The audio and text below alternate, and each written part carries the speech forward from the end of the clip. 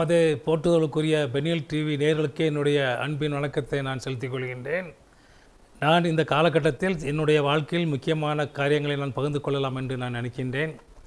நான் இந்த நாஸ்ரேத் நகரில் பிறந்து வளர்ந்து இங்கே பணியாற்றி இங்கே பல நல்ல காரியங்களை செய்யக்கூடிய வாய்ப்பை எனக்கு கடவுள் கொடுத்தார். ஏனென்றால் கடவுள் வந்து இந்த நகரத்தை தெரிந்து கொண்டார். இந்த நகரத்தை தெரிந்து கொண்டதின் காரணத்தினால் பல மிஷினரிஸை இங்கே அனுப்பினார். அவர்கள் கல்வியினுடைய வளர்ச்சியை ஏற்படுத்தினார்கள். நான் நினைப்பது என்னவென்றால் கடவுள் என்னை தெரிந்து கொண்டு என்னை உயர்த்தி இந்த நகரத்தில் உள்ள ஸ்தாபனங்களுடைய வளர்ச்சிக்கு என்னை பயன்படுத்துகிறார் என்கிற எண்ணம் எனக்கு உண்டு. நான் சொல்லப்போனால் நான் எங்கேயோ வேலைக்கு போக வேண்டும் என்று ஆசைப்பட்டேன். ஆயிரத்தி தொள்ளாயிரத்தி அறுபத்தி ஏழாம் வருடம் இந்த மர்காசிஸ் கல்லூரியில் எனக்கு வேலை வாய்ப்பு கிடைத்தது. அதில் இருந்து நான் இங்கே தான் பணியாற்றி கொண்டிருக்கின்றேன். நல்ல பணியாற்றி பல பணிகளை ஆற்றி கொண்டிருக்கின்றேன். சொல்லப்போனால் அந்த மர்காசிஸ் கல்லூரியுடைய வளர்ச்சியில் அடுத்தாப்பில் பாலிடெக்னிக் இன்ஜினியரிங் கல்லூரி நர்சிங் கல்லூரி போலியோ ஹோம் மர்காசிஸ் ஸ்கூல் லூக்கா ஆஸ்பத்திரி இப்படி பல ஸ்தாபனங்களுக்கு என்னுடைய வளர்ச்சியில் என்னுடைய பங்கு உண்டு என்பதை நான் கூறிக்கொள்கின்றேன். இப்பொழுது இந்த காலகட்டத்தில் ஒரு முக்கியமான ஒரு காலகட்டம். நாசிரியத்தில் சிபிஎஸ்சி பள்ளி இல்லை என்ற ஒரு நிலை உள்ளது. அதை கேட்கும் பொழுது எங்களுக்கு மிகவும் வேதனை. பொதுவாக நாங்களெல்லாம் படிக்கும் பொழுது மாணவர்கள் எஸ்டேட்டில் இருந்தும் சென்னையிலிருந்து கூட படிக்க வருவார்கள். இங்கே பெஸ்ட் எஜுகேஷன் பெஸ்ட் டிசிப்ளின் என்று இங்கே வருவார்கள். இப்பொழுது அந்த காலம் மாறி போய் நாசிரியத்தில் உள்ளவர்கள் பல பஸ்ஸுகளில் வெளியில் போய் திருச்செந்தூர் அந்த ஊர்னு போகும்போது அதெல்லாம் பார்க்கும்போது கேட்கும்போது எங்களுக்கு பெரிய மனவேதனையாக இருந்தது. இந்த சூழ்நிலையில் நம்முடைய மதிப்புக்குரிய பேராயர் அவர்களும் லே செக்ரட்டரி எஸ்டிகே ராஜன் அண்ணன் அவர்களும் நம்முடைய ஆடிட்டர் ஜெபச்சந்திரன் அவர்களும் சேர்ந்து என்னிடம் ஐயா நீங்கள் வந்து நாசிரியத்தூரில் சிபிஎஸ்சி பள்ளி ஆரம்பிக்க வேண்டும். தூத்துக்குடியில் ஆரம்பித்தோம் அது சிறப்பாக நடந்து கொண்டிருக்கின்றது. நாசிரியத்துறை எஜுகேஷன் சென்டர் ஆகையால் அது கண்டிப்பாக வேண்டும் என்று கேட்டார்கள். அது மட்டும் அல்லாமல் இது உங்கள் ஊர் நீங்கள் செய்ய வேண்டும் என்று உரிமையோடு கேட்டார்கள். முதலாவது கேட்கும்போது ஐம்பது லட்சம் தான் கேட்டார்கள். சரி என்று சொன்னேன். திருப்பி என்ன நினைத்தார்களோ தெரியவில்லை.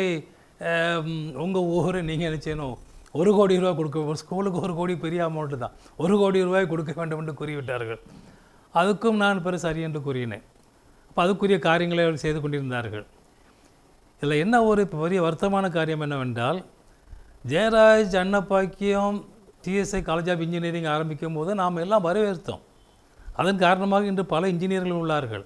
பாலிடெக்னிக் படித்து பல ஆயிரக்கணக்கான பேர் நல்ல வேலையில் இருக்கின்றார்கள்.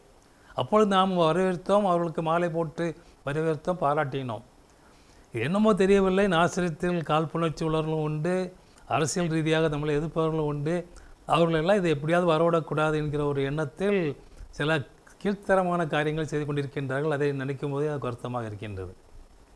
உண்மையில் நான் மதிப்புக்குரிய பேராயர் அவர்களை பாராட்டுவேன்.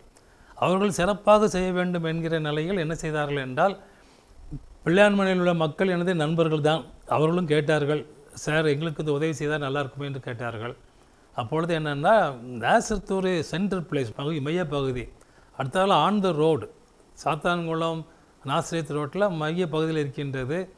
அது காரணத்தினால் இது எல்லா வகையிலும் நமக்கு மக்களுக்கு மாணவர்களுக்கு வந்துட்டு போகிறதுக்கு வசதியாக இருக்கும் என்பதால் இந்த இடத்தை நாங்கள் வந்து தேர்ந்தெடுத்துக்கொள்ளும் என்று சொல்லி அவர்களை அனுப்பிவிட்டோம்.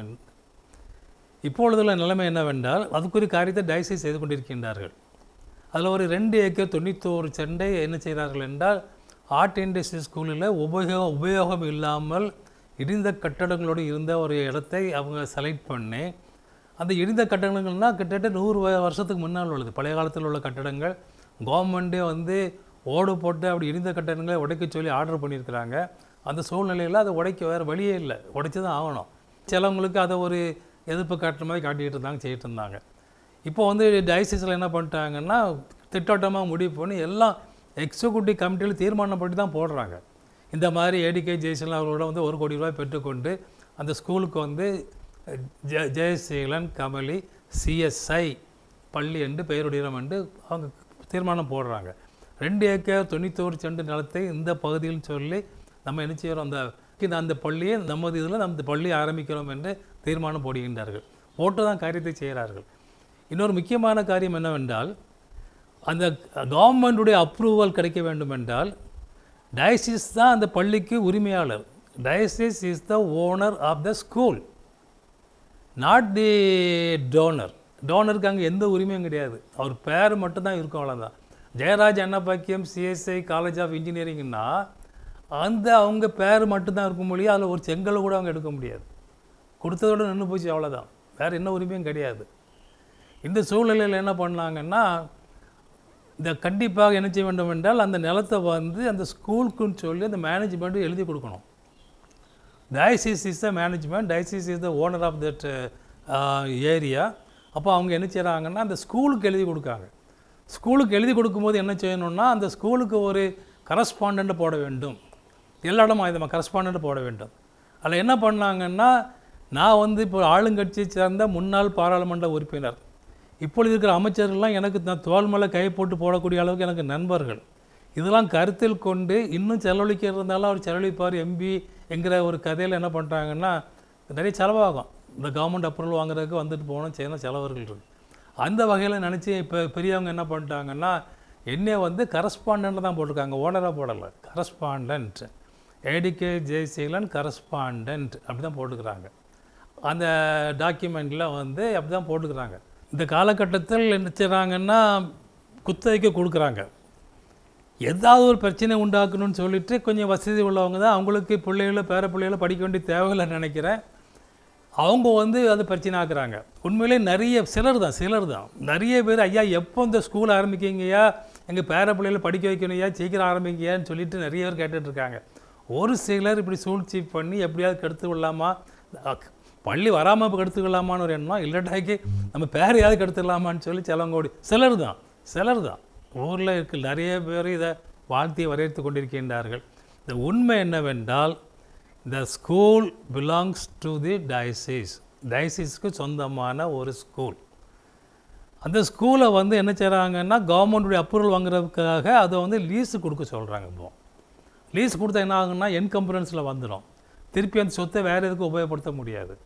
சப்போஸ் இதுக்கு கொடுத்துட்டு மெட்ரிகுலேஷன் ஸ்கூலில் அதை அங்கே அங்கே ஆரம்பிக்க முடியாது. சில இடங்கள் என்ன செய்கிறாங்கன்னா நிலத்தை கொடுத்துட்டு அந்த நிலத்தை வந்து என்ன செய்வாங்கன்னா தீர்மானம் போட்டு இன்ஜினியரிங் காலேஜுக்கும் காட்டுவாங்க பாலிடெக்னிக்கும் காட்டுவாங்க. இப்படிலாம் ஏமாத்துறாங்கங்கிறனால தான் கவர்மெண்ட்டில் திட்டோட்டமாக போட்டாங்க. இந்த மாதிரி நீங்கள் என்ன செய்யணும் அந்த குறிப்பிட்ட இடத்த மென்ஷன் பண்ணி வரைபடம்லாம் கொடுத்து நீங்கள் வந்து என்ன செய்யணும் அதை வந்து குத்தைக்கு கொடுக்க வேண்டும் என்று அந்த சட்டம் இருக்கின்றது. அதனால தான் அப்படி போட்டுக்கிறாங்க அப்போ கண்டிப்பாக ஒரு ஒரு கரஸ்பாண்டன்ட் போட வேண்டும். கரஸ்பாண்டன்ட் போட வேண்டும் என்றால் இருக்கிறதுல பெஸ்ட்டு ஆளு நான் தான் சொல்லி அவங்க செலக்ட் பண்ணுறாங்க ஏன் தான் இன்னும் சொல்ல போனால் ஆயிரத்தி தொள்ளாயிரத்தி தொண்ணூற்றி ஒம்பதாவது வருஷம் டிஎம்கேயில் பாராளுமன்ற உறுப்பினராக இருக்கும்போது பெஸ்ட்டு கேண்டிடேட் யார் என்று மதிப்புக்குரிய தலைவர் கலைஞர் அவர்கள் கூப்பிட்டு கொடுத்தார்கள். கூப்பிட்டு கொடுத்தார்கள். பாராளுமன்ற தேர்தல் நில்லுங்கன்னு சொல்லி கூப்பிட்டு கொடுத்தாங்க. அது கடவுளுடைய கிருவை கடவுளுடைய அனுகூலம் கடவுளுடைய ஏற்பாடு என்று நான் கருக்கின்றேன். அது அதே மாதிரி இந்த பள்ளிக்கூடத்தையும் நீங்கள் தான் கொடுக்கணும்னு சொல்லி கொடுத்ததுன்னா இது கடவுளுடைய சித்தம் என்று நான் நினைத்து தான் இந்த பணத்தை கொடுக்கேன். ஒரு கோடி ரூபாய் எனக்கும் பெரிய அமௌண்ட்டு தான். ஒரு கோடி ரூபாய் நான் காம்ப்ளெக்ஸ் கட்டினாக்கி மாதம் அட்லீஸ்ட் பத்தாயிரம் இருபதாயிரமா வாடகை வந்துட்டுருக்கோம். நமது ஊர் கஷ்டப்பட்ட பிள்ளைகள் எங்கே போய் படிப்பாங்க? வசதி உள்ளவன் எங்கே போய் படிப்பான்? கஷ்டப்பட்டவங்க எங்கே போய் படிப்பாங்க? இங்கே தான் படிப்பாங்க படிக்கணுங்கிற அளவுக்கு தான் அந்த ஒரு நல்ல மனதுடன் தான் நான் அந்த பணத்தை நான் கொடுக்கிறேன். அந்த ஒரு கோடி மட்டுமல்ல இந்த பள்ளி வரும்போது நான் இன்னும் அதிகமாக செய்வேன். இன்னும் முதல்ல பள்ளி பள்ளியில் சேர்றவர்களுக்கெல்லாம் அவங்களுக்கு இந்த ட்ரெஸ் எல்லாம் ஃப்ரீயாக கொடுப்பதற்காக ஒரு லட்சம் ரூபாய் கண்டிப்பாக கொடுப்பேன். சொத்தை விக் விற்று தான் செலவழிக்க போகின்றேன். சொத்து அதிகமாக விற்கும் பொழுது இன்னும் சில லட்சங்கள் அந்த பள்ளிக்கு கொடுப்பேன் என்று நான் கூறிக்கொள்கின்றேன். இந்த பள்ளியினுடைய வளர்ச்சியில் என்ன பங்கு உண்டு? நான் சாகும் வரை இந்த பள்ளிக்காக என்ன செய்யணுமோ நான் செய்து கொண்டிருப்பேன். என் வாழ்நாள் முடிந்த பிறகு நான் வாழுகின்ற இந்த வீட்டை இந்த பள்ளியினுடைய உபயோகத்துக்கு கொடுக்க போகின்றேன். ஏனென்றால் என்னுடைய எங்களுடைய எண்ணம் என்னவென்றால் இந்த பள்ளிகளில் ஃபிஃப்டி பர்சன்ட் வந்து லோக்கல் ஸ்டாஃப் இப்போ பத்து பேர் போடுறோன்னா அஞ்சு பேர் லோக்கல் அஞ்சு பேர் வெளியில் இருக்கணும். எங்கேருந்து வரணும்? சென்னை பெங்களூர் தேவைப்பட்டால் வந்து டெல்லி பாம்பே இப்படிப்பட்ட இடங்களிலிருந்து பெரிய எக்ஸ்பர்ட்ஸ் ஏன்னா நீட் தேர்வில் தேர்தலெலாம் கம்ப்ளீட் பண்ணணும்னா அப்படின்னா தான் முடியும். அவங்களுக்கெல்லாம் ஒரு லட்ச ரூபா சம்பளம் கொடுத்தாலும் கொடுக்கணும். அந்த பணத்தை கூட நான் யோசிச்சுட்ருக்கேன் சில பணங்கள் வந்தனாக்கி ஒரு பெரிய என்டோமெண்ட் கூட போட்டு குடிக்கலாமான்னு மனசில் பல எண்ணங்கள் ஓடிட்டு இருக்கு எனக்கு வந்துட்டு. ஆகையால் இந்த பள்ளியை வந்து இந்த வட்டாரத்திலே ஒரு சிறப்பான பள்ளியாக அமைய வேண்டும். நாசிரியத்தில் உள்ள சிபிஎஸ்சி பள்ளி தான் தி பெஸ்ட் என்று கூற அளவுக்கு இருக்க வேண்டும் என்கிற ஒரு நல்ல எண்ணத்தில் தான் நாம் செயல்பட்டு கொண்டிருக்கிறோம் ஒழிய கீழ்த்தரமான எண்ணம் எங்களுக்கு கிடையாது அதுக்கு தேவையும் இல்லை. கடவுளை எங்களை ஆசீர்வதிக்கிறார் ஆசீர்வதித்து கொண்டிருக்கின்றார். பல காரியங்களில் எங்களை உபயோகப்படுத்தி கொண்டிருக்கின்றார். ஆகையால் சிபிஎஸ்சிக்கு நான் நான் கண் கையெழுத்து கும்பிட்டு கேட்டுக்கொள்கிறேன். தயவுசெய்து சிலர் நீங்கள் பண்ணுற கால் காழ்ப்புணர்ச்சி பண்ணுகிற காரியத்தெல்லாம் விட்டு விடுங்கள் எல்லாரும் ஒத்துழைத்து நல்ல காரியங்கள் செய்வோம். அது நமது மக்களுக்கு நமக்கு பயனுள்ளதாக நான் அமையும் என்று நான் கூறிக்கொள்கின்றேன். அடுத்தாற்போல் நான் கூற வேண்டியது என்னவென்றால் நம்முடைய நகரத்தில் உள்ள ஸ்தாபனங்களுடைய வளர்ச்சிகள் நான் கண்டிப்பாக கூற வேண்டும். அதில் முக்கியமாக சொல்லப்போனால் மர்காசிஸ் காலேஜ். மர்காசிஸ் காலேஜை பற்றி சிலங்களுக்கு வரலாறு தெரியாது. நைன்டீன் ஃபிஃப்டி த்ரீயில் வந்து நம்ம நம்ம ஆலயம் கட்டி இருபத்தைந்தாவது ஆண்டு கொண்டாடுறாங்க. சில்வர் ஜூப்ளி கொண்டாடுறாங்க.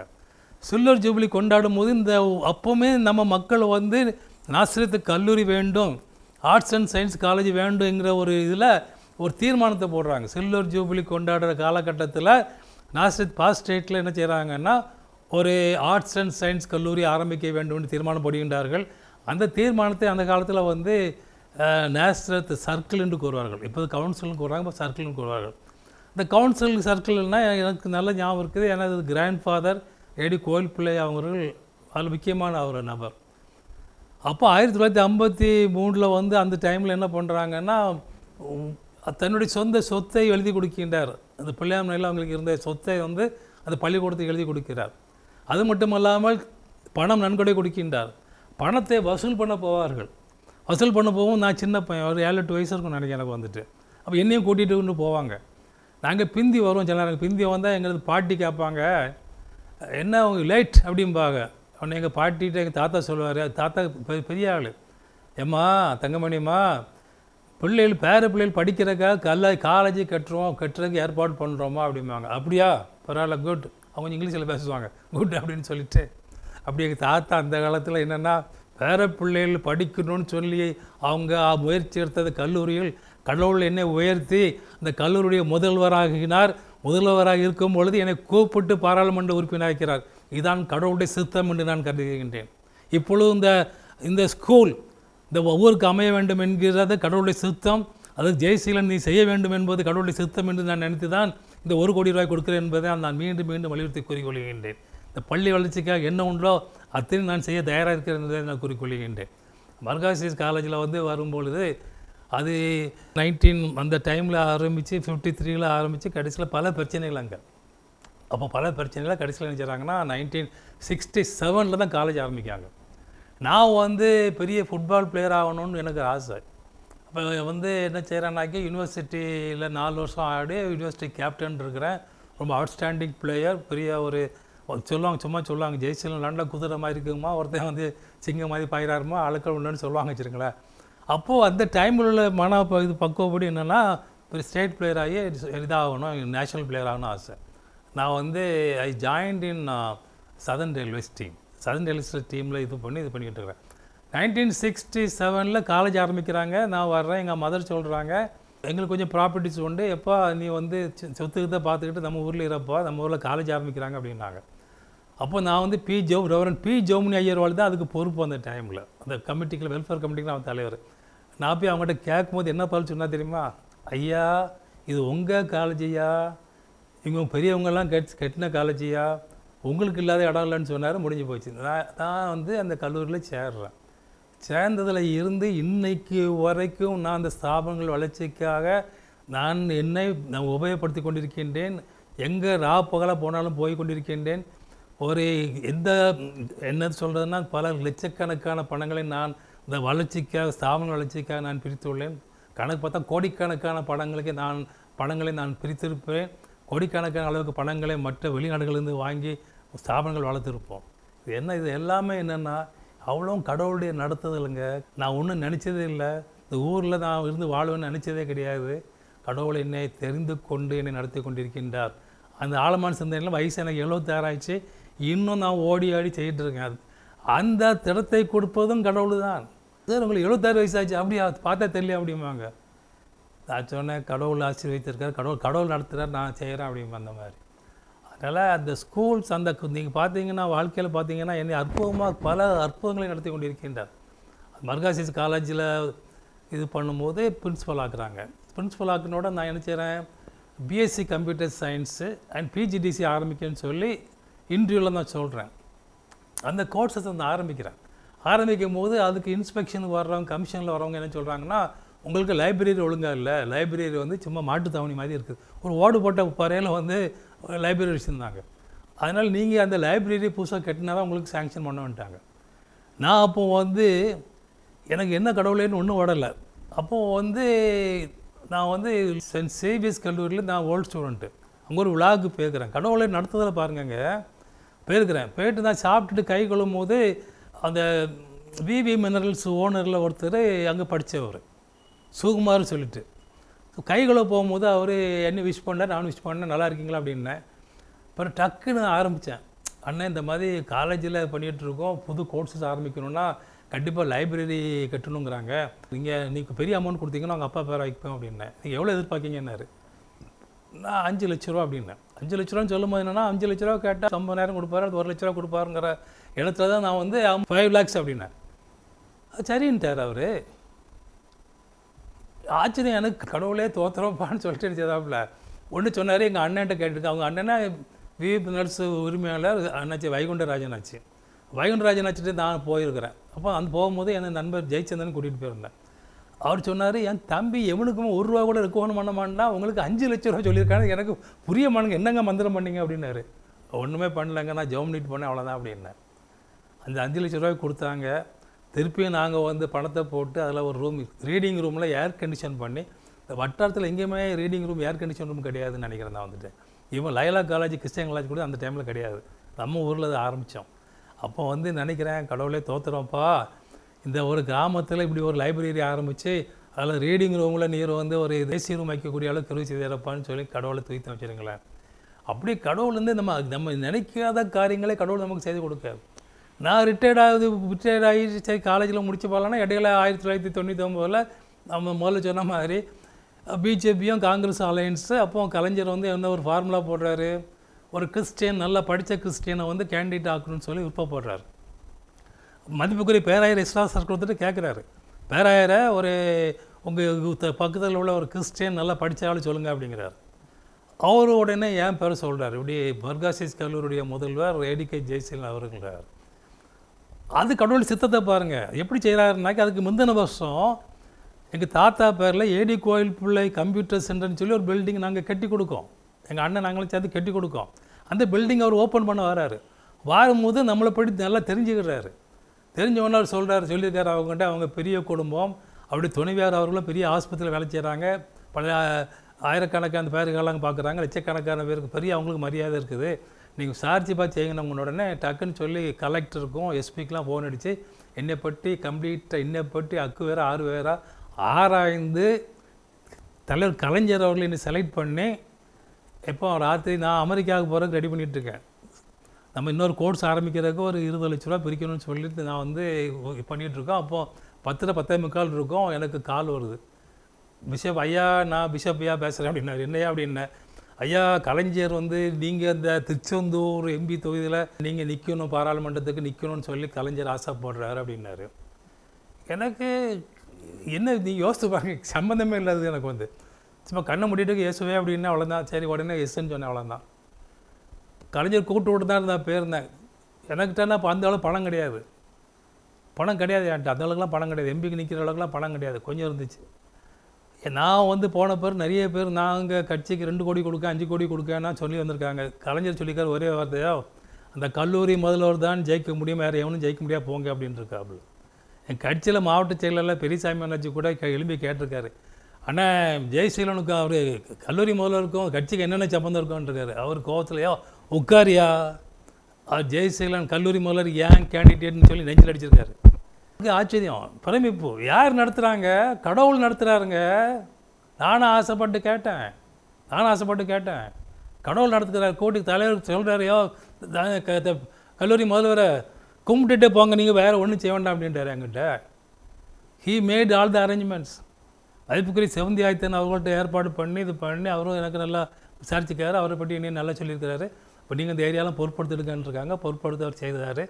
ஒரு பக்கம் விவி மினரல்ஸ் பொருட்படுத்தி செய்கிறாங்க அப்புறம் கலைஞரே கொஞ்சம் ப- பணத்தை கொடுத்தாரு லாஸ்ட்டில் கடவுள் என்னையா வந்து தெரிந்து கொண்டு உயர்த்தி ஏன் உயர்த்துறாருன்னா நல்ல காரியங்களை செய்ய வேண்டியதுக்காக உயர்த்தினார் அவ்வளோதான் நான் எம்பி முடிக்கிறேன். நைன்டி நைனில் அங்கே இன்ஜினியரிங் காலேஜ் ஆரம்பிக்க ஆரம்பிக்கிறாங்க.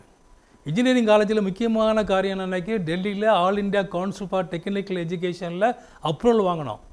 அப்போ மதிப்புக்குரிய அந்த டைமில் ரெவரண்ட் எஸ் ஜோசப் ஐயர்வால் வந்து பாஸ்டேட் சேர்மனாக இருக்காங்க. வெல்ஃபேர் கமிட்டி செக்ரட்டரி அவங்க. வெல்ஃபேர் கமிட்டியுடைய தலைவர். அவர் இந்த மாதிரி ஐயா நீங்கள் வந்து ஒரு ஐம்பதனாயிரம் கொடுக்க ஐயா. நீங்கள் வந்து வேலையை கொஞ்சம் பார்த்து நினச்சிங்க டெல்லியில் பார்த்து கொடுங்க அப்படிங்கிறாரு. அப்போது நான் சொன்னேன் எனக்கு பணம் பணமே வேண்டாம்யா ஒரு உணர்ச்சிவசப்பட்டு இது ஏன் ஊரியா சொன்னேன் நான் சிரித்து ஏன் ஊரியா நான் இதுக்கு செய்ய கடமைப்பட்டிருக்கேன்? என்ன கடவுள் எம்பி ஆக்கிறதுக்கு காரணம் என்னவென்றால் இதை கொடுக்குறதுக்கு தான் வாங்கி கொடுக்குறது தான் கடவுள் என்ன எம்பிஏ ஆக்கிற அவர் சொல்கிறேன் வந்து போய் அங்கே போய் நான் பார்த்தேனாக்கி நம்ம அப்ளிகேஷன் வந்து ரிஜெக்ட் பண்ணிட்டாங்க. ஏன்னா திருநெல் அப்போ திருநெல்வேலி டயசிஸ் திருநெல்வேலி டயசிஸ் வந்து கம்பெனி சைட்டில் ரிஜிஸ்டர் பண்ணியிருக்கிறாங்க. கம்பெனி சைட்டில் ரிஜிஸ்டர் பண்ணால் ரிஜெக்ட் பண்ணிடுவாங்க. அது ட்ரஸ்ட்டில் இருக்கணும் சொசைட்டியில் இருக்கணும். கஷ்டப்பட்டு கீழே இருந்து நான் பல லட்சங்கள் செலவு பண்ணி பல லட்சங்கள் செலவு பண்ணி பார்த்து இருபது இருபத்தஞ்சி இடம் அந்த ஆஃபீஸுக்கு இது பண்ணி இது பண்ணி கடைசியில் என்னென்னா நமக்கு இங்கே வந்து நம்மகிட்ட இன்ஃப்ராஸ்ட்ரக்சரும் கிடையாது. ஆனால் கடவுளுடைய கிருபையில் நாம் வாங்கி கொடுத்தோம் வச்சுருங்களேன் வாங்கி கொடுத்தோம். அது அதுவும் கடவுளுடைய சித்தம் நாங்கள் அடுத்த வருஷம் பார்த்தீங்கன்னா நீங்கள் இன்ஃப்ராஸ்ட்ரக்சர் இல்லைன்னு சொல்லிட்டு இதுக்கு மேலே இங்கே நடத்தக்கூடாதுன்னு சொல்லி கவர்மெண்ட்டில் ஆர்டர் போடுறான். நோ அட்மிஷன் கேட்டகரின்னு போடுறான். அப்பவும் நான் திருப்பி போய் வாங்கி கொடுக்கேன். அதுக்கு அடுத்த வருஷமும் அதே மாதிரி உங்கள்கிட்ட இன்ஃப்ராஸ்ட்ரக்சர் இல்லைங்கிறான். மக்கள்கிட்ட நம்மகிட்ட பணம் கிடையாதுல்ல எவனும் கையிலேருந்து கொடுக்க போகிறது கிடையாது. வேறு எவனாவது கொடுத்தாதான் உண்டு. ஊரில் ஊரில் யாராவது கொடுத்துருப்பாங்களா? யாரை பேசுகிறாங்களா வாய்க்கிலே பேசுகிறாங்களே யாராவது கொடுத்துருப்பாங்களா? அப்போ என்ன ஒரு கடவுள்? என்ன திருப்பி திருப்பி நான் நினைப்பேன். கடவுள் நம்மளை பயன்படுத்துகின்றார் கடவுள் நம்மளை பயன்படுத்துகிறார். அப்போ நம்முடைய வாழ்க்கை அதுக்குள்ள தான் இருக்கணும். அவங்க கடவுளுடைய சித்தத்தின்படி நம்ம செய்ய காரியங்கள் செய்யணுங்கிறதுக்கு தான் நம்ம என்ன செய்யிட்டு இருக்கோம்? காரியங்கள் செய்து கொண்டு இருக்கிறோம். நீங்கள் பார்த்தீங்கன்னா நிறைய தெரியாது. அப்போலாம் தெரியும். அந்த ஃபங்க்ஷன் டைமில் நீ ரொம்ப பாராட்டி பேசி கல்வெட்டில் கூட இந்த பெர்சன்ஸ் ஆஃப் போட்டு எல்லாம் போட்டு மரியாதைலாம் பண்ணாங்க இல்லை நான் சொல்லலை. ஓவனாக பார்த்தீங்கன்னா பாலிடெக்னிக் ஆச்சு இன்ஜின் பாலிடெக்னிக் என்னாச்சுன்னா நான் பிரின்ஸிபாலாக இருக்கிறேன். பிரின்ஸிபாலாக இருக்கும்போது ஆரம்பிக்கிறாங்க. அவங்களுக்கு வைக்கிறது கட்டடம் கிடையாது. ஹாஸ்டல் கிடையாது. அப்போ நான் தான் வந்து என்ன பண்ணுறேன்னாக்கி பாலிடெக்னிக் ஸ்டூடெண்ட்ஸு தங்குறதுக்கு போகிறதுக்கு கிளாஸ் ரூம்ஸு எல்லாம் ஒர்க் ஷாப்ஸு லைப்ரரி எல்லாமே நான் தான் அரேஞ்ச் பண்ணுறேங்க அப்போ நினைக்கிறேன் அப்போ இப்போ இப்போ யோசிச்சு பார்க்கும்போது கடவுள் அந்த ஸ்தாபனம் ஆரம்பிக்கும் போது தான் நம்மளை பயன்படுத்தினாரு அப்படின்னு சொல்லிட்டு. பாலிடெக்னிக் காலேஜ் ஆரம்பிக்கும் போது அப்படியே கடவுள் என்னைய பயன்படுத்தியிருக்காப்புல அடுத்தாவில் பார்த்தீங்கன்னா இப்போ college of nursing college of nursing அவங்க க கஷ்டப்பட்டு அரை நம்ம ஊர்களில் ரொம்ப பணம் கிடையாது செய்தால் கிடையாது யாராவது ரூபா கொடுத்தா உண்டு இல்லாட்டா இல்லை. இங்கே நாங்கள் கூட நான் பழைய வைஸ் சேர்மன் பால்ராஜ் ஐயர்வால்லாம் போய் மதுரையில் போய் அந்த ஜெயராஜ் நடர் ஃபேமிலியில் போய் கேட்டோம். நன்கொடை கொடுங்கன்னு சொல்லி கேட்டோம். நாங்கள் முதல்ல ஐம்பது லட்ச ரூபான்னு கேட்டோம். அவர் என்ன சொல்லிட்டாருன்னா நான் நிறைய கொடுத்தாச்சு. உங்களுக்கு என்ன பதினஞ்சு லட்ச ரூபா தரேன்னாரு. எங்களுக்கு ரொம்ப வேதனை டிசப்பாயிண்டட் அப்போ வைஸ் சேர்மன் வந்து பாலராஜ் ஐயர்வாள் சொல்லிட்டாரு பதினஞ்சு லட்சத்துக்கு நம்ம நர்சிங் காலேஜில் அவங்க பேரை போட முடியாதுன்னு சொல்லிட்டு எனக்கு செய்யிட்டாப்புல. அவர் இருபத்தஞ்சு லட்ச ரூபா கொடுத்துருந்தா கூட அவர் பேரை போட்டுப்பாப்புல. இப்போ வந்து யோசிப்பாங்க அந்த டைமில் நமக்கு இருபத்தஞ்சு லட்ச ரூபா இல்லாமல் போயிட்டேன்னு சொல்லிட்டு. அதனால் அந்த காலத்தில் வேறு வழி இல்லாமல் ஆரம்பித்தாங்க ஆரம்பித்தா கிரவுண்ட் ஃப்ளோரு ஃபர்ஸ்ட் ஃப்ளோர் இது இருக்கணும். நமக்கு கிரவுண்ட் ஃப்ளோரோட நிப்பாட்டிட்டாங்க. அதுக்கு மேலே நமக்கு நம்மகிட்ட பணம் கிடையாது. ஃப்ளோரிங்கோட ஒழுங்காக போடலைங்க. ஃப்ளோரிங்கோட ஒழுங்காக போடலை. ஆட்சி மசாலா உரிமையாளர் எனக்கு சித்தப்பா பையன் ஏடி பத்மசிங் ஐசாக். அவங்களாம் உதவி செய்யிருக்காங்க உதவி செய்து நிறைய காரியங்கள் இன்ஃப்ராஸ்ட்ரக்சர் கட்டமைப்பு நம்மகிட்ட இல்லை என்றாலும் நம்ம பெர்மிஷன் வாங்கணும். அதுவும் கடவுளுடைய கிருபை. பிறகு அந்த டைமில் பார்த்தீங்கன்னா நம்ம மதிப்புக்குரிய அந்த குருவானவர் வந்து மாணிக்க ஐயர்வாள். நல்லா ஓடி ஆடி செய்தார் போனார். ஏதோ ஒரு கெட்ட நேரம் அவர் மேலே ஒரு ஒரு அலிகேஷன் வந்துச்சு. திருப்பி அவரை வந்து இங்கே வந்து ட்ரான்ஸ்ஃபர் பண்ணிட்டாங்க. அப்போ எங்களுக்கு கால் வருது. பிஷப் மாட்ரேட்டர் கமிஷனரி ஃபோன் பண்ணுறாரு எனக்கு. ஐயா இப்படி நர்சிங் காலேஜுக்கு யாரும் தகுதி இல்லை. உங்கள் டாக்டரமாக தான் இருக்க முடியும். நீங்கள் உதவி செய்யுங்கன்னு சொல்கிறாப்புல எனக்கு எந்த காலேஜிலும் கரஸ்பாண்டன்ட் இருக்கிறது இஷ்டம் கிடையாது. நான் கடவுள் என்ன ஓரளவுக்கு வைத்து வச்சுருக்கேன் நான் இன்னும் கரஸ்பாண்டன்ட் எனக்கு என்னன்னு தெரியும். கரஸ்பாண்டன்ட்னா கண்டிப்பாக பில்டிங் கட்டணும் போகணும் பிச்சை எடுக்கணும் போகணுங்கிறது எனக்கு தெரியும். நான் இல்லை வேண்டவே வேண்டாங்கிறேன். எஸ்டிகே ராஜன் வச்சு நான் ரொம்ப மதிப்பேன். லேசா கிட்டே ரொம்ப மதிப்பேன். அவர் அண்ணன் வேறு வழியே இல்லைண்ணே. அக்காவை கரஸ்பாண்டாக போட்டாச்சுன்னு சொல்லி நீங்கள் கண்டிப்பாக ஒத்துழைக்கணும் அப்படிங்கிறாரு. கடவுள் இந்த பாரத்தை எங்கள் மேலே வைக்கிறாப்பான்னு சொல்லிட்டு சரி இப்போ நம்ம இது இது இதுவும் கடவுளுடைய சித்தம் தான் நினைக்கிறேன். அது கடவுளுடைய சித்தம் தான். ஏன்னா கடவுள் சித்தம் கடவுள் நடத்துறதுல எனக்கு ரொம்ப நம்பிக்கை உண்டுங்க. அப்போ நான் திருப்பி என்ன பண்ணுறேன்னாக்கி அதை நாங்கள் ஒத்துக்கொண்டு நாங்கள் போ போனோன்னா அங்கே இன்ஃப்ராஸ்ட்ரக்சர் எதுவுமே இல்லை. இன்ஸ்பெக்ஷனுக்கு வாரம் வந்தால் அது இல்லை இது இல்லை உனக்கு லேப் இல்லை அது இல்லை மல்டிபர்பஸ் இது இல்லை இது எல்லாம் இல்லை இல்லைன்னு போட்டு உங்களுக்கு கொடுக்க முடியாதுங்கிறாங்க. கையில் காலில் விழுந்து அவங்க பரிதாபப்பட்டு நம்ம கொடுப்பாங்க வச்சுருங்களேன் ஒரு காலகட்டத்தில் என்ன ஆகி போச்சுன்னா நர்சிங் கல்லூரியே ரொம்ப கஷ்டப்பட்டு அவங்க வந்து சம்பளம் கொடுக்க முடியாத ஸ்டேஜில் தான் இருந்துகிட்டு இருக்குது. ஏன்னா ஐம்பது பேர் சேர்க்கறதுல இருபது பேர் இருபத்தஞ்சி பேர் தான் சேர்றாங்க. என் ஒய்ஃபுக்கு கடவுளுடைய ஆசீர்வாதம் நடத்துறதுல உண்டு வச்சுருங்களேன். அப்போ நம்ம வந்து அவள் எந்த காரியத்தெல்லாம் வந்து கொஞ்சம் நல்லா ஸ்ட்ரிக்டாக பார்ப்பா சீரியஸாக பார்ப்பா கொஞ்சம் கொஞ்சமாக ஆரம்பித்து அந்த இருபத்தஞ்சி முப்பது பேர் வந்தாங்க. பிறகு நாற்பது ஐம்பதுன்னு ஆச்சு. கொஞ்சம் காலேஜ் காலேஜ் ஓரளவுக்கு ஸ்டாண்ட் பண்ணுற அளவுக்கு வந்துச்சு வச்சுருங்க இப்போ டெவலப்மெண்ட் சைடில் திருப்பி நினச்சதுன்னா பில்டிங் கட்டணும் பில்டிங் கட்டுறோம். ஒரு டைமில் என்ன ஆச்சுன்னா அது இல்லை இதெல்லாம் சொல்லிட்டு டெல்லியிலேருந்து என்ன பண்ணிட்டாங்கன்னா எங்களுக்கு வந்து உங்கள் கல்லூரியை நீங்கள் நடத்த முடியாதுன்னு சொல்லி ஆர்டர்ஸ் அனுப்புகிறோம் நெக்ஸ்ட் டே நீங்கள் அட்மிட் பண்ணக்கூடாதுன்னு சொல்லி. நானும் எனது துணை வேற நான் இங்கேருந்து டெல்லிக்கு போய் சேர்மனை பார்க்குறோம். எல்லோரும் என்ன சொல்கிறாங்கன்னா சேர்மனை பார்க்குறக்கே பத்து லட்ச ரூபா கொடுக்கணும் நீங்கள் எப்படி மேனேஜ் பண்ண போகிறீங்க அப்படிங்கிறாங்க. ஒரே நமக்கு துணை வந்து கடவுள் தான் துணை கடவுளே காப்பாற்றுப்பான்னு சொல்லிட்டு. என் கார்டை கொடுத்து அவங்ககிட்ட எம்பிங்கிற கார்டை கொடுத்த உடனே வெளியே வந்து கூப்பிட்டு வாங்கன்னு சொல்லி பேசி இதில் வேறு நான் ஒரு என்ன பண்ணேன்னா நம்ம திருநெல்வேலி அல்வா கொடுத்து this is the best halwa in இந்தியான்னு சொல்லி கொடுத்தேன் சரிங்களா? அவர் சொன்ன I know mostly all the ministers in central government except mister மோடின்னு சொல்லிட்டு mister Vajpayee former prime minister was very friendly to me அப்படின்னேன். நானும் ஒரு சேர்ந்திருந்த படம் ஒன்று என்கிட்ட இருந்துச்சு. அந்த படத்தை தூக்கி அவர்கிட்ட கொடுத்தேன். நானும் ரொம்ப க்ளோஸ்ன்னு பேசிக்கிட்டு இருப்போம்.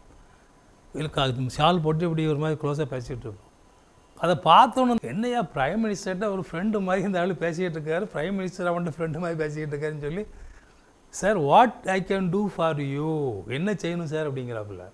சார் இந்த மாதிரி பிரச்சனை அப்படின்னா ஒன்று செக்ரட்டரிக்கு ஃபோன் பண்ணார். இந்த மாதிரி எம்பிஎஸ் காம் எம்பினா எக்ஸ்எம்பி தான் தம்ம. எம்பிஎஸ் காம் அவங்களுக்கு செய்கிறது செய்யுங்க அப்படின்னு ஆச்சு போய் எங்களுக்கு அந்த செக்ரட்டரி சொன்னாங்கன்னா நிறைய ஒரு பத்து பதினஞ்சு இருக்குது இதெல்லாம் நாங்கள் செய்து கொடுவோம் செய்து கொடுவோம்னு சொல்லி எழுதிதாங்க அப்படிங்கிறாப்புல. இப்போ டாக்டரம்மா கையால் தான் எழுதி கொடுத்துட்டு அடுத்த மாதம் வந்து பதினஞ்சாம் தேதி இருபதாம் தேதிக்கு பிறகு வந்து அடுத்த மீட்டிங் போடுவாங்களாம். எங்களுக்காக நாலாம் தேதியை போட்டு எங்களை வர சொல்லி இந்த ஆர்டர் வாங்கி கொடுத்தாங்க வச்சுருங்களேன் அதுவும் கடவுளை நடத்துறது. தட் வாஸ் எ மிராக்கிளுங்க மிராக்கிள் ஒரு அதிசயமாக நான் கருதுவேன் நான் வந்துட்டு. எல்லாரும் ஆச்சரியப்பட்டாங்க எப்படிடா நீங்கள் வாங்கிட்டு வந்தீங்க? அப்படின்னு சொல்லிட்டு. ஆனால் நான் போய் சென்ட்ரல் மினிஸ்டர் ஹெல்த் மினிஸ்டர்கிட்ட ஒரு லெட்டர் ஒன்று வாங்கி கொடுத்தேன் அவர்கிட்ட. ஹெல்த் மினிஸ்டர்லாம் எம்பின்னு பொண்ணு அவங்க அதெல்லாம் செய்வாங்க. அது ஹெல்த் மினிஸ்டர்கிட்ட லெட்டர் வாங்கி கொடுத்தேன். அந்த லெட்டருக்கு வந்து கொஞ்சம் யூஸ்ஃபுல்லாக இருந்துச்சு. ஸோ கடவுள் வந்து அதுலேயே நினச்சதாருன்னா நமக்கு எந்த செலவு இல்லாமல் வாங்கி கொடுத்தாரு. சமீப காலத்தில் என்ன ஆச்சுன்னா அந்த ஹாஸ்பிட்டலில் வந்து நம்முடைய காலேஜ் வந்து ஹாஸ்பிட்டல்ஸோட டைப் பண்ணணும். கவர்மெண்ட் ஹாஸ்பிட்டலோட டைப் பண்ணக்கு முடியாமல் போச்சு. போய் கேட்டால் இது பண்ணால் அந்த மினிஸ்டர் வந்து அவங்க கொஞ்சம் கரப்ஷன் உண்டு நினைக்க சில காரணத்துட்டு அவங்க யாரையும் பார்க்க முடியாதுன்ட்டாங்க. கஷ்டப்பட்டு நாங்கள் வந்து அவன் ஆட்சி மசாலா உரிமையாளர் சித்தப்பா பையன் தானே. பத்ம சிங் ஐசாக்கு அவன் மூலமாக சில ஆட்கள் இது பண்ணி நாங்கள் ரெண்டு வருஷம் தான் எதிர்பார்த்தோம். நாலு வருஷத்துக்கு நாங்கள் வந்து நினச்சதான் அதுக்குரிய அப்ரூவல் வாங்கணும் வச்சுருங்களேன். பிஷப்பையாவே ஆச்சரியப்பட்டாங்க. எப்படி வாங்குறீங்க அப்படின்னாரு. அது நாங்கள் வாங்காமல் இருந்திருந்தால் இந்த கல்லூரி நடத்துறதுக்கு அலோவ் பண்ண மாட்டானே அப்பவும் நினச்சேன் கடவுள் கடவுள் வந்து அற்புதத்தை செய்து கொண்டிருக்கிறார்னு நினைப்ப வச்சுருங்களேன் இப்போ கல்லூரி நேம பார்த்தேன்னா நாங்களே ஒரு ஏர் கண்டிஷன் ஒரு ஹால் வந்து நான் கட்டி கொடுத்தேன். அப்போ சிக்ஸ்டி பர்சன்ட் கொடுத்தா போதும் அதுக்கெல்லாம். நாங்களும் நானும் எங்கள் எங்கள் ஃபா மதர்லாம் கூட போட்டாங்க கிட்டத்தட்ட ஒரு எட்டு லட்ச ரூபா போல செலவு பண்ணி fully air condition conference hall கட்டி கொடுத்தாப்புல. ஆச்சி மசாலா ஓனர் வந்து என்ன செய்கிறாங்கனாக்கி கிட்டத்தட்ட இருபத்தி ரெண்டு லட்ச ரூபா கொடுத்துருக்காப்புல. முதல்ல ஒரு ஆறு லட்ச ரூபா கொடுத்தாரு. திருப்பி ஒரு பத்து லட்ச ரூபா வாங்கினேன். திருப்பி இப்போ போட்டிக்கோ கட்டுறதுக்கு ஒரு ஆறு லட்ச ரூபா இருபத்தி ரெண்டு லட்ச ரூபா வாங்கினோம். மற்ற நண்பர்கள்ட்ட அங்கங்கே வாங்கி இப்போ நீங்கள் பார்த்தீங்கன்னா ஃபர்ஸ்ட் ஃப்ளோர் ஃபுரம் பியூட்டிஃபுல்லாக எல்லாம் டைல்ஸ் போட்டு பிரமாமல் கட்டியிருக்காப்புல. போட்டிக்கோவும் கட்டி இப்போ கடவுள் அந்த கல்லூரியை ஒரு பெரிய கல்லூரியாக மாற்றி கொண்டிருக்கின்றார். எல்லாம் கடவுளுடைய காரியம் காரியங்களை செய்யுங்க. எங்களுக்கு ஆச்சரியமாக இருக்கும். நீங்கள் வேணால் யாரும் போய் பார்க்கல யாரும் பாருங்கள் இந்த காலேஜ் ஆஃப் நர்சிங் வந்து எப்படி இருந்துச்சு இப்போ எப்படி இருந்துச்சுன்னு சொல்லிட்டு. அப்போ கடவுள் நம்ம அர்ப்பணித்து செய்யும் பொழுது கடவுள் அதை ஆசீர்வதிக்கிறார். அதில் வந்து சில்லறத்தனமாக அதுலேருந்து ரூபா எடுத்து போனாலும் கடவுள் நம்மளை அடித்து கொண்டு விடாரு நான் எம்பி ஆகிறதுக்கு காரணம் என்னன்னாக்கே கொஞ்சத்தில் உண்மையாக இருந்தேன். என்ன எவ்வளவோ அதில் கொள்ளடிக்குன்னு அடிக்கலாம். நான் தான் ரூபா பிரிக்கேன் நான் தான் செலவு பண்ணுறேன் நான் தான் பிரின்ஸ்பால் நான் தான் கரஸ்பாண்டன்ட் தாயார் சொல்லியிருக்காங்க ஒரு ரூபா அடுத்த ரூபா எடுத்தா உனக்கு சாவம்ப்பா அப்படின்னு இருக்காங்க இன்னும் என் காதில் ஒழிச்சிட்ருக்கும் ஒரு ரூபாய் நாங்கள் எடுக்கவும் இல்லை போகவும் இல்லை கையெழுந்து டிஏடிஏ நாங்கள் தான் கையெழுந்து போடவும் போவோம். கொஞ்சத்தில் உண்மையாக இருந்ததுனால தான் கடவுள் எங்களை ஆசீர்வதித்தார் கடவுள் எங்களை வழிநடத்தி கொண்டிருக்கின்றார். இன்னும் எங்களை வழிநடத்துவார் நான் கருதுகின்றேன். நல்ல காரியங்கள் செய்வதற்காக தான் கடவுள் எங்களை வாழ்நாடை நீடித்து கொடுத்திருக்கின்றார். காலாகாலத்தில் நாங்கள் கடவுள் எந்த அளவுக்கு ஆயுசை கொடுக்காரோ அந்த அளவுக்கு நாங்கள் இதுக்காக எங்களுடைய வாழ்க்கையை அர்ப்பணித்து செய்வோம் நாங்கள் வந்து. சிலவங்க ஏடிகே ஜெய்சலன் என்னையா செய்தாருன்னு சொல்லிட்டு சிலவங்களுக்கு ஒரு கேள்வி. எம்பியாக இருந்தால் என்ன செய்யான்னு சொல்லி. முதல் முதல்ல பார்த்தீங்கன்னா இந்த திருச்செந்தூர் திருநெல்வேலி அகல ரயில் பாதை நான் அந்த ஸ்கீமை நான் தான் வாங்கி கொடுத்தாங்க. அந்த ஸ்கீமை நான் தான் வாங்கி கொடுத்தேன். அப்போ மம்தா பானர்ஜி தான் ரயில்வே மினிஸ்டர் போய் ஷால்லாம் போட்டேன்னு அந்த அம்மா வந்து மரியாதையாக மரியாதையை ஏற்றுக்கிட்டாங்க போயிட்டாங்க.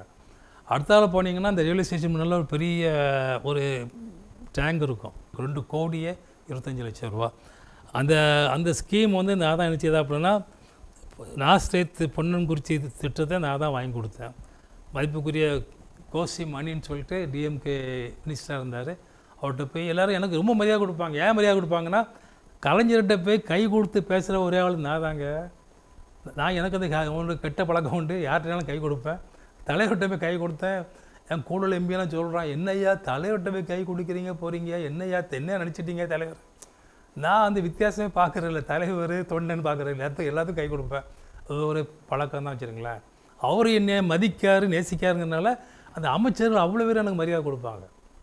அப்போ நினைப்பேன் எல்லா மையமையும் உங்கள் இறைவனுக்கே அப்படிங்கிற மாதிரி நம்ம வாழ்க்கையில் எல்லா மையமையும் பெருமையும் கருத்தருக்கேன்னு சொன்ன சொல்லிடுறேன் வச்சுருங்களேன் அடுத்தால பார்த்தீங்கன்னா ஆசிரியத்தினுடைய இந்த நூற்பாலை இருந்துச்சுல்லாங்க நம்ம ஸ்பின்னிங் மில் இருந்துச்சு. ஸ்பின்னிங் மில்லில் வந்து என்ன ஆகுதுன்னா தலைவர் வந்து இருக்கார் நான் எம்பியாக இருக்கேன் அப்போ நாங்கள் வந்து தலைவர் தான் போய் பார்க்குறேன். என்னையா நீ என்னையா விஷயம் அப்படின்னாரு. ஐயா அப்படி ஸ்பின்னிங் மில்லு வந்து மூட போகிறாப்படி சொல்கிறாங்கய்யா நீங்கள் சிஎம்மாக இருந்து நான் எம்பியாக இருக்கும்போது அது மூடுனா நான் வெளியிலே போக முடியாதுயா என்ன அவள் என்னையா செய்யணும் அப்படின்னாரு. மூடாமல் இருக்கிறதுக்கு என்ன ஹெல்ப் பண்ணுமோ பண்ணுங்க அப்படின்னா ரெண்டு கோடியே இருபத்தஞ்சி லட்ச ரூபாயை ஒரு வாரத்துக்குள்ளே கலைஞர் அனுப்பினார். ரெண்டு கோடி இருபத்தஞ்சி லட்ச ரூபாய் அனுப்பி அதை மூடாமல் டிஎம்கே ஆட்சி நடக்க வரைக்கும் அது மூடப்படவில்லை. அது ஸ்பின்னிங் மில் இல்லாத பெரிய குறை ஸ்பின்னிங் மில் வரணும்னு சொல்லி நான் எவ்வளோ முயற்சி பண்ணேன். ஸ்டேட் கவர்மெண்ட் முயற்சி பண்ணேன் சென்ட்ரல் கவர்மெண்ட் முயற்சி பண்ணேன்.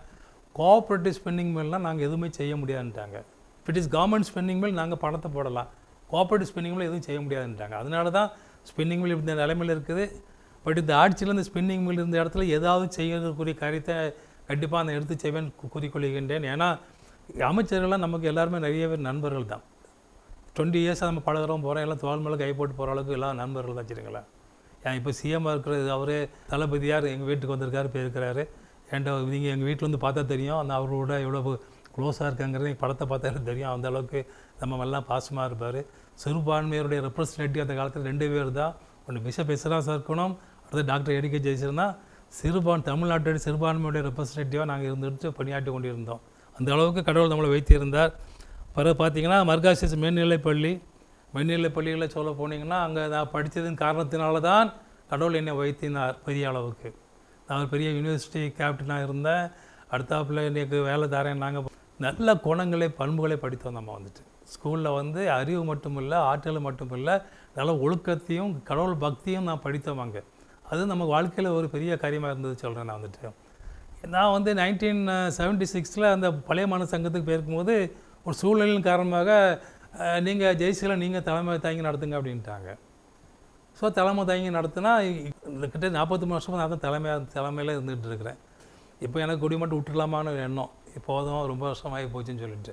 ஆனால் அந்த டைமுகளில் மருகாசி ஸ்கூலுக்கு வந்து நான் வந்து எங்கிட்ட வந்து ஒ- ஒரு கம்ப்யூட்டர் வாங்கி கொடுங்கன்னு கேட்டாங்க ஒரு கம்ப்யூட்டர்.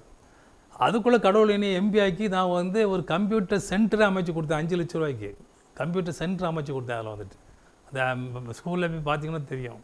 அதில் வந்து கம்ப்யூட்டர் சென்டர். கம்ப்யூட்டர் சென்டர்னால் ஃபர்னிச்சர் முதல் கூட நம்ம தான் வாங்கி கொடுக்க வச்சுருங்களா? பிறகு மதிப்புக்குரிய கேபிகே குமரன் அவங்ககிட்ட கேட்டு அவங்ககிட்ட ஒரு பத்து லட்ச ரூபா வாங்கி ஒரு மூணு மூணு கிளாஸ் ரூம்ஸ் கட்டி கொடுத்தோம். அடுத்தாப்பில் பார்த்தீங்கன்னா இன்னொரு பில்டிங் ஒன்று கட்டி கொடுத்தோம். அப்படி சில காரியங்களை செய்தோம் வச்சுருங்களேன். இப்போ தற்சமயம் என்ன பண்ணாங்கன்னா அந்த ஹெட் மாஸ்டரு நம்ம அவங்க தா தாழலாக இருக்கிற ஏடிஹெச் சந்திரன் இவங்களாம் வீட்டுக்கு வந்தாங்க. கண்டிப்பாக என்ன செய்யணும்னா அந்த அதில் ரோடு ஒன்று இருக்குது பேர் பிளாக் போட்டு கொடுங்க அப்படின்னாங்க. ஒயர் பிளாக் போட்டு கொடுத்தோன்னா அதில் கிட்டத்தட்ட ஒம்பதாயிரத்தி நானூறு ஸ்கொயர் ஃபீட் வருது. எல்லாம் பக்காவாக போட்டிருக்காப்புல. சரின்னு சொல்லி நானே நான் ஓபிஎல் செய்யாமல் நானே தனிப்பட்ட முறையில் என்னுடைய பணத்தில் அந்த இது செய்து முடிக்கிறேன். நமது அமைச்சரை வச்சு அதை திறந்தோம் பிரமாதமாக அந்த க அந்த ஃபங்க்ஷன் இருந்துச்சு. எனக்கு ரொம்ப மகிழ்ச்சி. கடவுள் நம்மளை வந்து பரவாயில்ல இவ்வளோ பெரிய ஒரு காரியத்தை செய்ய வச்சுருக்காருன்னு சொல்லி ஒரு மகிழ்ச்சி வச்சுருங்களேன். அந்த மகிழ்ச்சியில் நான் இன்னும் சந்தோஷமாக தான் இருக்கேன். அந்த பள்ளிக்கூடத்துக்கு இன்னும் நம்ம செய்யக்கூடிய காரியங்களை செய்யணும் செய்யணுங்கிற எனக்கு அவா உண்டு. பட் அஃப்கோர்ஸ் ஆஸ்பத்திரி பற்றி பேசலாம் நிறைய பேசலாம். அது என் ஒய்ஃபு கமலி பேசுவான்னு நினைக்கிறேன். அந்த வளர்ச்சியில் எனக்கு பெரும் பங்கு உண்டு. சமீப காலத்தில் அதில் ஒரு ரோடு போடணுன்ட்டாங்க பேஷண்ட்டை கொண்டு போக முடியலன்னாங்க. பக்கா காங்கிரீட் ரோடு போட்டு அதில் போட்டு நிச்சயதாப்பில் கொடுத்தோம் வச்சுருங்களேன் ரீசெண்டாக அங்கே ஒரு சேப்பல் கட்டினாங்க தெற்கு தெருவில். அதுக்கு ஒரு லட்ச ரூபா கொடுங்கன்னாங்க. சந்தோஷமாக கொடுத்தோம். ஸோ இப்படி கொடுத்தது பணத்திலே பார்த்தீங்கன்னா கிட்டத்தட்ட நான் வந்து ஒரு கோடியே நாற்பத்தாறு லட்ச ரூபா இது வரைக்கும் கொடுத்துருக்கேன் நான் வந்துட்டு. இந்த மாதிரி அந்த காலேஜ் இந்த காலேஜ் இது வந்து பாலிடெக்னிக்கு கேட்டாங்க. ஒரு ஹாஸ்டல் டைனிங் ஹால் கட்டி கொடுத்தோம்னு சொன்னாங்க. கட்டி கொடுத்தோம். இப்படி பல எனது கணக்கெலாம் இருக்குது. அது சொன்னால் ரொம்ப நேரம் ஆகிட்டு இருக்கும். இப்போ போப்ஸ் காலேஜுகளுக்கு கொஞ்சம் பணம் கேட்டாங்க. அந்த தூத்துக்குடியில் உள்ள கால்டுவெல் காலேஜுக்கு கேட்டாங்க. ஒரு ஆர்ஓ சிஸ்டத்துக்கு. அது கிட்டத்தட்ட ஒன்றரை லட்ச ரூபாய்க்கு மேலே கொடுத்தேன். இப்படி சொத்தை விற்று தான் நான் கொடுத்துட்ருக்கேன் நீங்கள் வந்துட்டு ஏதோ அப்படி வேறு மாதிரி பெரிய வேலைக்கும் அப்படி இல்லை. எனக்கு வரும். கடவுள் புண்ணியமாக எனக்கு எனக்கு அதுக்கு வந்து பென்ஷன் அதெல்லாம் கொஞ்சம் தே- வீட்டு எனக்கு தேவைக்கு இருக்குது நன்கொடை கொடுக்க வேண்டும் என்றால் கடவுள் என்னை ஆசீர்வித்திருக்கிறார் எனக்கு ரெண்டு பொம்பளை பிள்ளைகள் ரெண்டு பொம்பளை பிள்ளைகளும் அமெரிக்காவில் செட்டில் பண்ணிட்டாங்க. அமெரிக்கா செட்டில் பண்ணி கடவுள் புண்ணியம் வசதியாக இருக்காங்க. இங்கே சிட்டிசன்ஸ் ஆகிட்டாங்க நாங்கள் இந்தியாவுக்கு வந்து செட்டில் பண்ண முடியாதுன்னு சொல்லிட்டாங்க. பிறகு நான் யோசித்தேன் இவங்களுக்கு போய் சொத்து வச்சு எதுக்குன்னு சொல்லி சொத்துக்களை விற்றுக்கிட்டு இருக்கோம். அவங்ககிட்ட கேட்டேன் நீங்கள் சொத்துக்களை விற்று மீதி இருந்தால் கொடுங்க அப்படின்னாங்க ஆல் ரைட்டு. கடவுளுடைய சித்தம் ஏதோ அது நடக்கும் வச்சுருங்களேன். பொதுவாக நான் வந்து இதை செய்தேன் அதை செய்தேன்னு சொல்வதை விரும்புவதும் இல்லை பப்ளிசிட்டியை பொதுவாக நான் அவ்வளோ விரும்புவது இல்லை அதெல்லாம் நிறைய காரியங்கள் செய்ய தெரியாது. நான் என்ன செய்யிருக்கேன்னு தெரியாது. இப்போ காலகட்டம் என்ன ஆகி போச்சுன்னா சில காழ்ப்புணர்ச்சி உள்ளவர்கள் சில சில வசதி உள்ளவர்கள் இருக்கலாம். இந்த ஆள் என்னடா இவ்வளோ பேர் வாங்குறான் போகிறான்னு நானாக பேர் வாங்கினேன் கடவுள் வைத்து வைக்கிறாரு கடவுள் உச்சத்தில் கொண்டு வைக்கிறாரு அது நம் நம்மளே செய்கிறோம் கடவுள் செய்கிறாரு. இந்த காரியத்தை என்னன்னாக்கி இந்த அசிங்கமாக சொல்ல போனால் எம்பி என்னத்தை என்னத்தை செய்தாருங்க? அது இன்னொரு அசிங்கமான வார்த்தைகள்லாம் யூஸ் பண்ணாங்க எம்பி என்னையா செய்தார் என்னையா செய்தார் சொல்லுங்க அப்படி கேட்கும் போது நம்ம சொல்ல வேண்டிய கட்டத்துக்கு வந்துடும் வரணும் இல்லை. இல்லைன்னா நான் என் பாட்டுக்கு இருந்திருப்பேன். என் பாட்டுக்கு என்ன வச்சிருப்பேன்னா இதெல்லாம் சொல்ல வேண்டிய தேவையில்லை தான் நம்ம வந்து தேவைப்பட்டால் ஒரு புக் எழுதுனா அந்த புக்கில் எழுதிட்டு போகிறோம் பட் இது வந்து சொல்லணுங்கிற கட்டாயம் என்ன ஆயிடுச்சுன்னா வேணுமென்று நினச்சிறாங்கன்னா நம்ம மேலே பழி பாவங்களே மோசமான இதுகளை சொல்லி அருவருப்பான காரியங்கள்லாம் சொல்லி நினச்சிறாங்க பேரை கெடுக்க வேண்டும். சொல்கிறாயா போகிற இவன் வந்து ஒரு குரூப் வந்து ஆர்கனைஸ் பண்ணி சத்தியம் டிவி அந்த டிவிலாம் கொண்டு வந்து இந்த ஏடிகே ஜெய்சீலன் திராவிட முன்னேற்ற கழகத்தின் முன்னாள் பாராளுமன்ற உறுப்பினர் ஏடிகே ஜெய்சீலன் அவர்கள் ஒரு கோடி ரூபாய் நன்கொடை கொடுத்து பதினைந்து கோடி ரூபாய் சொத்தை அபகரித்து கொண்டார்கள்னு போடுறான் என் பெஞ்சாதி அதை பார்த்து விக்கி விக்கி அழுறான் நாலஞ்சு நாள் சாப்பிடலை. எனக்கு அது பெரிய மனசுக்கு வேதனை. என்னடா கடவுளே இப்படி ஒரு கோடி ரூபா கொடுத்து நாங்கள் பதினஞ்சு கோடி ரூபாய் சொத்தை அபகரிச்சுட்டு சொல்கிறாங்களேன்னு சொல்லும்போது வேற யாரெல்லாம் சொன்னார் ஐயா நீங்கள் யாருமே பெரியவங்க சொன்னாங்க நீங்கள் யாருமே வருத்தப்படாதீங்க. இது வந்து டயசைசன் ஸ்கூலு. இது யாரும் ஒன்றும் செய்ய முடியாது. இதை வந்து குத்தகை கொடுக்குறது கவர்மெண்ட் ரூலு அதெல்லாம் எல்லாம் சட்ட பிரகாரம் தான் சேர்க்கணும் சும்மா இவங்க சொல்கிறப்பட்டு ஒன்றும் இல்லை. ஆனால் ஒன்று மட்டும் கேட்டுக்கொள்கிறேன் இந்த ஊரில். இந்த மாதிரி சில சிலர் செய்கிறது தயவுசெய்து விட்டுருங்க. யார் நல்லா செய்கிறாங்களோ அவங்கள ஊக்கப்படுத்துங்க. நீங்கள் செய்யுங்க நான் அவங்கள ஊக்கப்படுத்துகிறேன் நீங்கள் ஒரு அஞ்சு லட்ச ரூபா போடுங்க நான் ஒரு அஞ்சு லட்ச ரூபா போடுறேன். சேர்ந்து செய்வோம் இப்படி யாரெல்லாம் வரீங்க? சொல்லுங்கள் சொல்லுங்கள் நான் வரேன். இந்த ஊருக்கு நன்மை செய்யணும்னு சொல்லி நீங்கள் சொல்லுங்கள் அல்லது நீங்கள் நீங்கள் வந்து ரெண்டு லட்ச ரூபா போடுங்க நான் பத்து லட்ச ரூபா போடுறேன். சொல்லுங்கள் நான் போடுறேன். சொத்துக்கள் இருக்கிற சொத்துல விற்க தான் சொன்னேன். எனக்கு வேறு ஒன்றும் வச்சுட்டு போனால் யாருக்கு வச்சுட்டு போக? தயவுசெய்து கேட்டுக்கொள்கிறேன் இந்த மாதிரி கீழ்த்தரமான காரியங்களை விட்டு விடுங்கள் நன்மை யார் செய்தாலும் அந்த நன்மைக்கு நீங்கள் வந்து ஆதரவு கொடுங்கள். அவளை உற்சாகப்படுத்த வேண்டும் நான் கேட்டுக்கொள்கின்றேன். அதனால் எனக்கு என்னென்னா கடவுள் நம்மளை சும்மா இருந்தோடனே கடவுள் என்னை தெரிந்து கொண்டு உயர்த்தி இவ்வளோ காரியங்களை செய்ய வைத்திருக்கிறார். இன்னும் காலத்தில் இன்னும் காலத்தை எனக்கு ஆயுசு கொடுத்தால் இந்த ஊருக்காக இந்த நகரத்தின் முன்னேற்றத்திற்காக என்னென்ன நன்மைகள் செய்ய வேண்டுமோ அத்தனை நான் செய்வேன் என்று கூறிக்கொள்கின்றேன். இந்த நல்ல வாய்ப்புக்கு நான் மிகவும் நான் நன்றியுள்ளனாக இருக்கின்றேன். கடவுள் என்னை நன்றாக ஆசீர்வதிக்க நல்ல நல்ல சுக பலத்தை கொடுக்க வேண்டும் என்று எனக்காக ஜெயித்துக் கொள்ளுங்கள். உங்கள் அனைவருக்கும் என்னுடைய வாழ்த்துக்கள் என்னுடைய நன்றி.